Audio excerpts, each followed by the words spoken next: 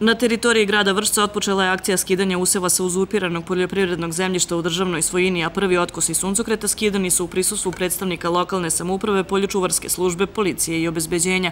Grad Vršac se po prvi put na ovaj način obračunova sa uzurpatorima, rešen da dosledno sprovede zakon, stane na put svima koji ga krše i konačno uvede red u zakup državne obradive zemlje, istakla je gradonačelnica Dragana Mitrović.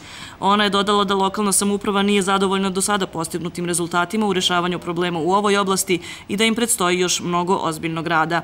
Godinama je ova oblast zanemarivana i nije bilo volje, nije bilo konkretnih akcija i nije bilo na neki način ni podrške da se stane na put uzurpatorima.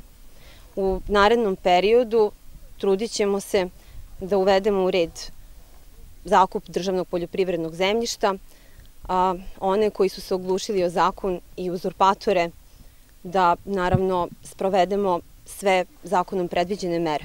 Na teritoriji grada Vršca od ukupno 12.500 hektara poljoprivrednog zemljišta u državnoj svojini u zakup je izdato oko 4.500 hektara, a uzurpacija 1.700 hektara zemljišta do sada je rešena van sudskim poravnanjem. Tačne površine preostalih uzurpiranih parcela još nisu precizno definisane, ali se za sada zna da ima oko 70 hektara pod suncokretom i 30 hektara pod kukuruzom, kao još 600 ili 700 hektara manjih parcela koje još nisu prekontrolisane.